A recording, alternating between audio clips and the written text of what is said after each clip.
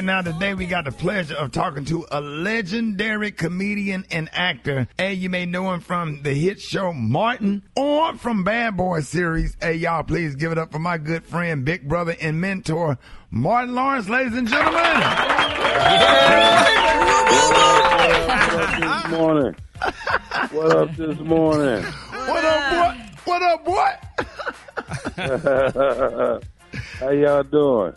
Hey, hey, man, we good, man. We so excited that you, uh, uh, when I found that you was coming on, man, I got so excited, man. First of all, congratulations on Bad Boys. Yes, sir. Ride or Die dominated the box office this summer. Congratulations on that. And, and how did it feel for number four to do so well, you know, and help the franchise reach a billion dollars?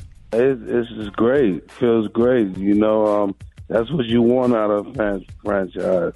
You know, to, to get the best out of it and get the most out of it. And, uh, you know, uh, it just seems like it just keeps getting better and better. Man, yes, sir. You got something huge to announce that you are kicking off the uh, Y'all Know What It Is tour, which is your first headlining tour in eight years, where you're going to be doing an hour on stage with all new material. Big round of applause for that. Yes. Hey, tell us about that, man. I'm just coming out to have fun, man. Just you know, make people laugh, man. You know, the world, world, we in we in a lot of turmoil. You know, we divided. You know, we we not we not together. You know, and uh, people need laughter out here. You know, you know, laughter is the medicine. So we we need we need laughter, and uh, you know, I'm just coming to make them laugh. Absolutely. So you know what, Martin? What's up? It's your girl Brat. How are you?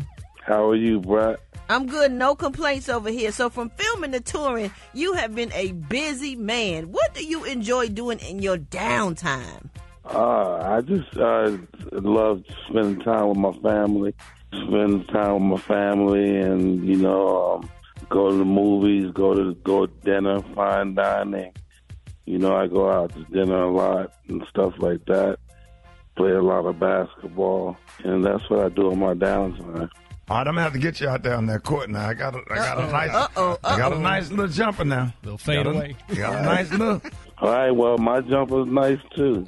hey, hey, I, hey! I tell you what, when we when we do the show, I know I know I'm on some of those tour dates. Look, so we're gonna put us a basketball backstage and we can play a game of OUT.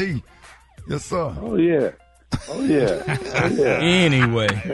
anyway, yeah. Rickey got a nice shot. It just don't go in too much. but that hey, that form is beautiful though. Hey, so, so now with the success of Bad Boys, Ride or Die, uh, would that be the final movie in the franchise, or can we expect number five in the future? Are they saying anything? Because Well, they they talking about it. They're talking about a five, you know. Um, uh, but you you just never know. Right.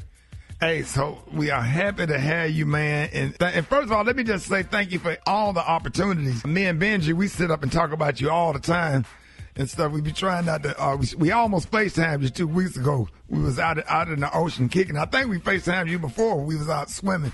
No, we always yeah, like yeah.